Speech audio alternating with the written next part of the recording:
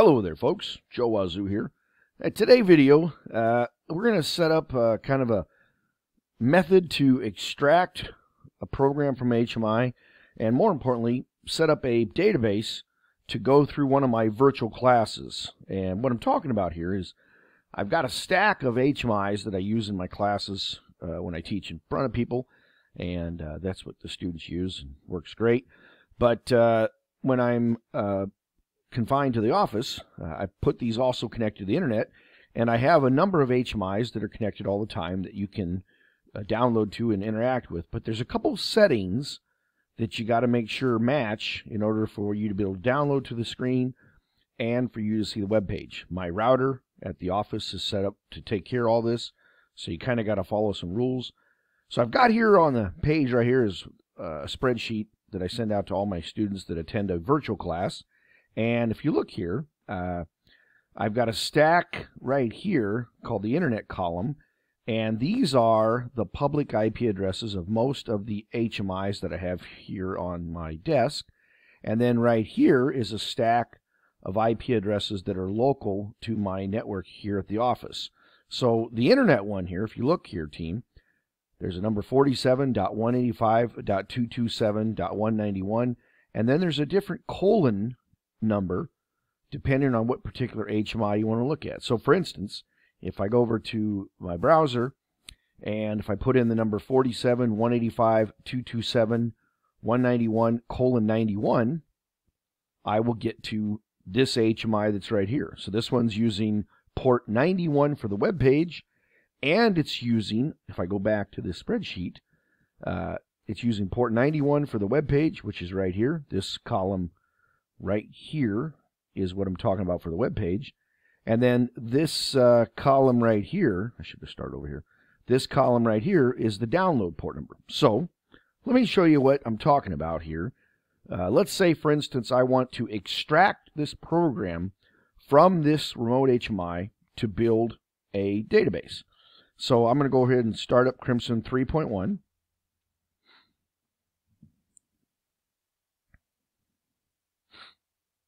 Give it a second here to load.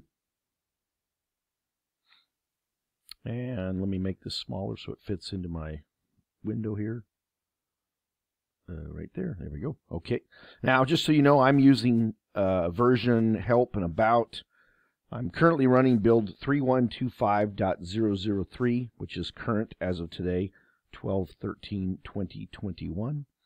So uh, I want to see if I can extract from this remote HMI. So I'm going to, uh, and these are all going to be graphite screens, but to prove my point, I'm going to leave this looking at something else. Here I got a CR3K I must have been tinkering with. It's a 10 inch screen. No big deal. Uh, I'm going to go here to the Ethernet tab. I'm going to leave this as DHCP because that's what my office router has to assign IP addresses to these units. If I set it, if I put it as a fixed IP, my office router doesn't like that. So I leave it there. But if I go to the download tab here, here's where things get a little bit special. On the download tab, right here where it says enabled, I want to extract what I think. I want to extract this HMI number 91, this one right here. So it says right here to use port number 791. So in Crimson, right here, I'm going to change the default, which is 789. I'm going to change this to 791. Boom. And then, if I go back to the Excel spreadsheet, right here, team, is the public IP address of my router. So in Crimson, I'm going to go down here, and where it says auto local name right here, I'm going to hit the pull down and select manual. And I'm going to put in that number right here, which I believe is 47.185.227.191. Let me double check. Going to go over here. 47, 185, 227, That's correct. And once again, I need to make sure that this port number here is also the same as this port, 791. So I'm going to change this to 791. Okay. All right, so this looks good. Now I want to see if I can extract this program from that particular HMI. So I'm going to go to the link pull down, and I'm going to come down to the word options, And I'm going to use the TCP IP connection right here. I'm going to use TCP IP connection. So that looks good. I'll click the OK button. I'm going to go link and extract. Let's see what it does. First off, it asks, do you want to save this? I'm going to say no to this. So I'll tell Crimson no. And then it should go out to the internet. And look at here. It went out and got that program. At least I think it did. And let me go ahead and save this to somewhere we can find it, just so we can verify. So I'll go ahead and put this in the same directory of these classes I'm playing with here. Uh, right here. And I'm going to call this one extracted. Oops, extracted underscore G09. These are all uh, graphite 09 underscore 91. I'm picking on number 91 because that's the screen number of this. So extracted G09 number 91. I'm going to go ahead and click the save button. Let's see what it does here. Okay. Well, I got something. Uh, I can see over here in communications, I apparently have a bunch of things here. Data tags. Okay. Ah, look at here. Here is that default program that's currently running on that screen right there. That's pretty sweet.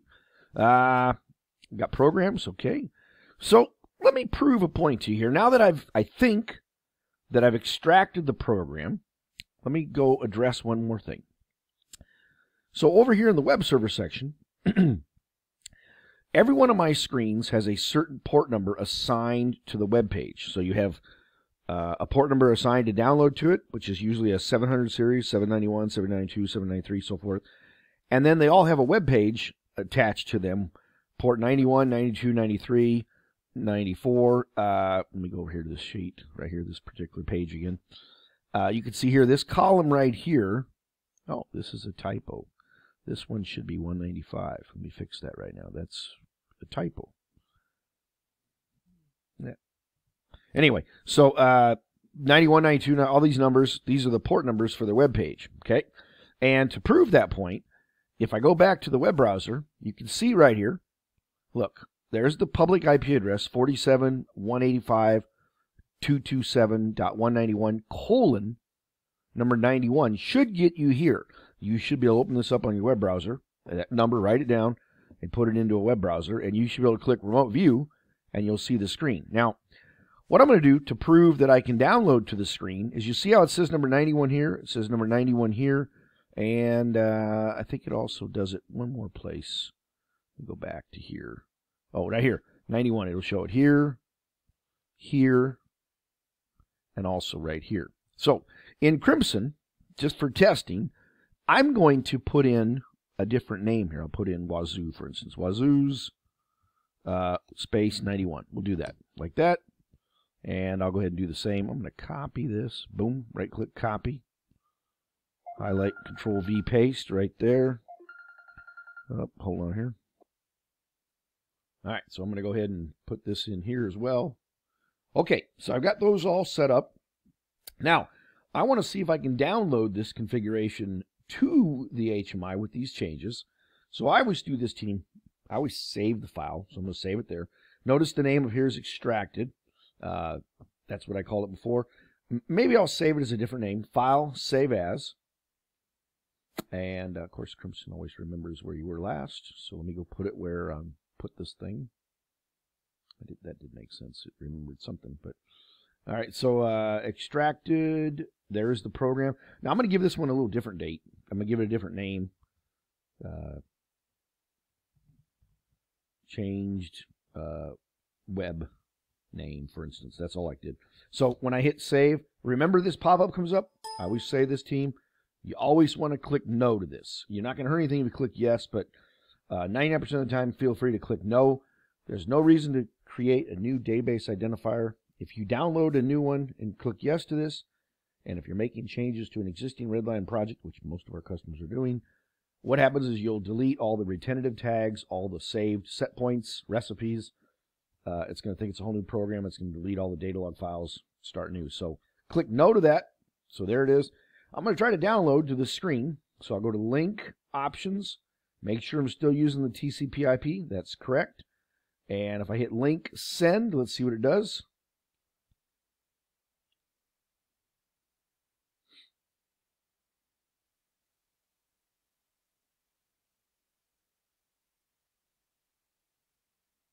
Yeah, patience. Patience. I guarantee it won't take this long every time. It's just whatever I'm doing here. Okay, so I've downloaded that to it. Now look, here I am back at the web page. Here's 91. Uh, why is that thing there? 91 there and 91 here. I'm going to hit the refresh button right here. And let's see what it does. One, two, three, boom. It should go out. Yeah, maybe refresh. Why are you not refreshing here, buddy? I'm still on the internet. Did I change anything here? Nope. 91, 91. That looks good. Didn't change anything there. That looks good. All right. Let's see what happened to my 91 here. Mm-hmm. May reload again. Ah, there we go. Who knows? So I finally got to reload. Look, it says Wazoo's 91, Wazoo's 91, and here. So that means I was able to download to it. So it looks good. So going forward, I have now a perfect base for a, a program to make changes to, to to interact with. So I'm going to make a series of videos now going forward that'll cover what I do in a regular virtual class. But this is the first video to set up your configuration. So again, I've got uh, right now I've only got uh, screens 91, 92, 93, uh, I think 95, yeah, a couple others. But anyway, uh, you can see that based on what tab is open up here, these are the ones that are currently connected to this unit. So uh, here's number 98. So I've got number 91, 92, 93, 95. This one is number 98. And then I have a screen that's at port number 97 that acts as our simulator here in this case. So this is the guy that, uh, I don't know why it does this method not allowed, but if it refreshes, should refresh. Uh, that unit there is the one we use for simulator. I don't understand why, there it goes. Yep. All right, so that's the first video. Um, look for a series of other things coming out here, team, that'll cover more in detail. But if you want to interact with the other screens, you just have to change this number here to a 792 or 793, 794, so forth, uh, to get to those screens. But 791 is currently plugged in, and we're interacting with that. Look for more videos to come out that follow what I teach in the virtual class from this point going forward. This is just video number one. Thanks. Bye.